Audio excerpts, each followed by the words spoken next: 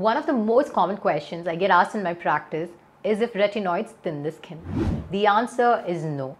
Retinoids do not actually thin the skin, but we assume that it does because of the dryness and flakiness and redness it causes when you start using them. You need to understand how a retinoid works. It starts by exfoliating the superficial dead skin cells, thereby increasing your basal layer of your epidermis, which is the first layer of your skin, to produce newer and healthier cells. Over a period of six months, what retinoid does is it increases the cell turnover, so you have a lot of newer and healthier cells. It increases the thickness of the stratum granulosum, which is one of the layers of the epidermis, and it makes the superficial dead skin layer of your uh, epidermis, which is the stratum corneum, more compact. So, in retrospect, it actually makes your skin thicker and not thinner.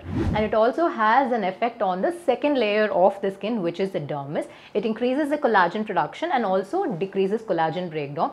So overall, it increases the thickness of your epidermis as well as the quality of the collagen in your dermis.